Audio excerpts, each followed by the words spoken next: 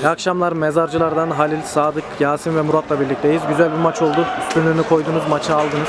Çok rahat kazandınız. Maçı bize kısaca değerlendirir misiniz?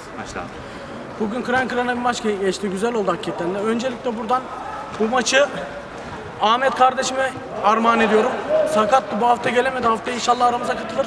Bu maçı ona armağan ediyorum. Maça gelirsek maç çok çekişmeliydi. Güzeldi. İlk yarı çekişmeli geçti. İkinci yarı biraz kondisyondan düştü arkadaşlar. Ondan sonra bizim için daha bir rahat maç oldu. Güzel bir maç oldu. Arkadaşları da tebrik ederim. Takımımız da çok iyiydi bugün. Yasin Sadık olsun çok iyiydi. Halil Kaptan da bugün güzel bir klas gol attı yine. Biz atamasak da bizim yönümüze atıyor yani. Çok güzel maçtı. Yasin'e bırakıyorum. Ben direkt maçın adamına bırakayım. Gol kornel, uzaktan şut. Sadık özellikle sen Sadık bugün olsun. defansta da iyiydin. Son dakikalara doğru hücuma çıktın. Senin görüşlerini alabilir miyiz? Ee, Murat abi dediği gibi rakip takım iyiydi. Yani skor ne kadar, hani skor aslında yansıtmıyor maçı. Çok iyi ayakları olan bir takım. Ee, onun haricinde disiplinimizi koruduk. Genç bir takım bize göre. Ama biz de tecrübe diyelim artık buna. Oldu bir şekilde. Güzel oynadık. Son haftalarda zaten iyi oyunumuz hep devam ediyor. Rakip takımın ayağına sağlık diyelim.